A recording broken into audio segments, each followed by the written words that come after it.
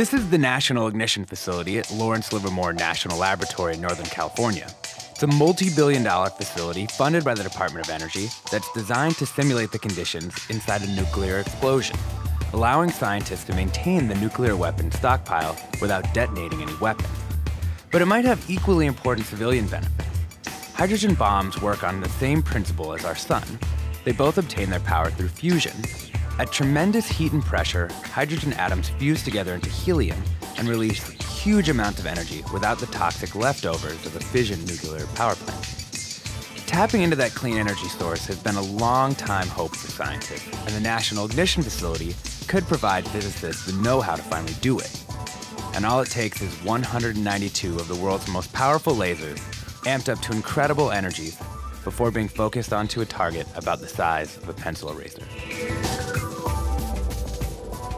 We're here at Lawrence Livermore National Laboratory with Ed Moses, director of the National Ignition Facility. Ed, can you tell us a little about the facility? Yeah, this is uh, the world's largest laser.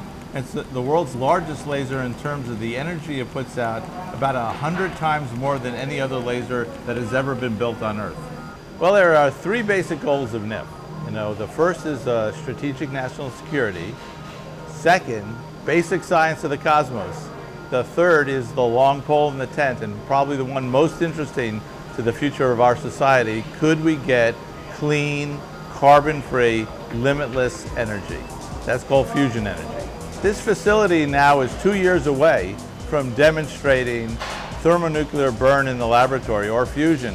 And what we're going to be doing is putting together special types of hydrogen, deuterium and tritium at very high temperatures and very high pressures for a short time and getting out energy, as Einstein told us, E equals mc squared. If you look at behind me right now, this is the target chamber where all that happens. We have all these lasers which creates all the energy, but we bring it all into this target chamber to a very small spot, sort of the size of a Tylenol capsule, you know, and focus it down to something about the size of your hair.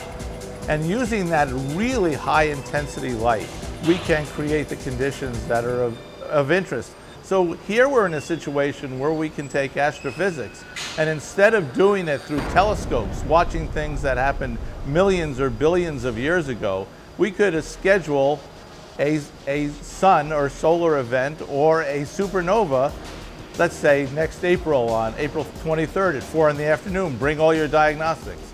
So that's something very exciting. Some people think this is a light machine. Uh, I think of it as a data machine, right? It's a scientific data machine.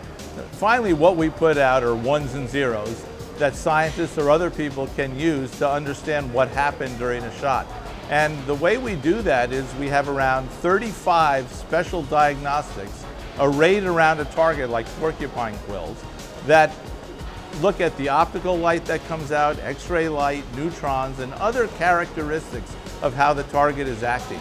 By doing that, we can figure out what happened, whether it agrees with our codes, you know, and understand how to design further shots.